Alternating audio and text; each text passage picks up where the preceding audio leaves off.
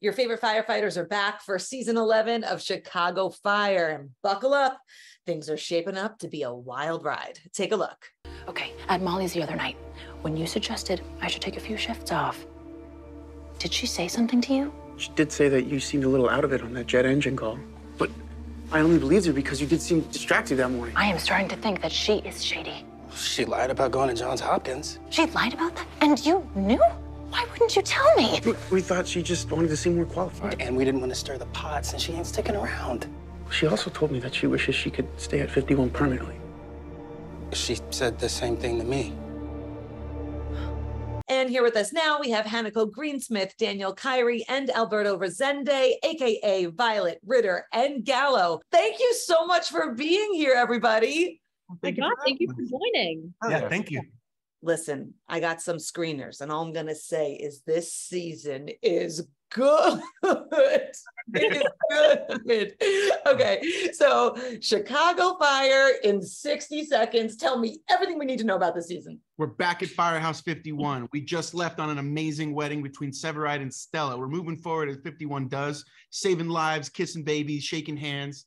Um, there's a lot of drama. There's a lot of fire, uh, and of course, because what we do is dangerous, we we see all all peaks of life. We see tremendous sadness and tremendous joy. Also, I feel like the fans, like we are so invested in these love lives, and any any romantic love lines you could tell us about. I will say that triangle with Hawkins and Violet and Gallo is definitely shifting as Gallo has a new distraction on the horizon. Oh, she went there. She went there. yes, yes, yes. I have a rapid fire, but Daniel, I, I want to hear from I want to hear from you as well too. Like you join a show like this, you expect one thing, but what is something that people might not expect to know about being on Chicago Fire, the making of Chicago Fire? I mean, really, it's not the easiest show in the world to shoot because of the weather that we deal with. Mhm. and so, you know, those beautiful shots that you might see of us, we're like walking out and it's out of the uh, uh, out of the firehouse and it's the shot of the skyline. It looks really like magical and like great. It might be just like negative 20 degrees on that day. You know what I'm saying? and so maybe if people are from Chicago and know about Chicago, they might be able to go, okay, this is maybe like a little cray cray, but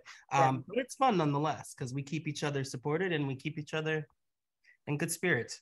Okay. Do you want to end with a rapid fire? Yeah, let's do Let's it. go. Okay. What is it like walking around Chicago when the fans get to see you out of character? It's really Yeah. humbling. It's really Yeah. humbling. It's cool when you're walking down the street and all of a sudden you just hear someone yell like Ritter, Yeah. like hey. what's? I love it. I love it. Okay, here are the fun ones. Who's most likely to start a real fire? Alberto. I was gonna say dominate dominate the blooper reel. Hanako. Probably me. Make you do a TikTok, which I love watching you all, by the way. 100% Daniel. Yes. Who's most likely to steal your craft service food out of the whole cast? Alberto. Alberto, Pull a prank? David Eigenberg, David Eigenberg. Eichenberg, yeah. Fall for a prank. David David Eigenberg.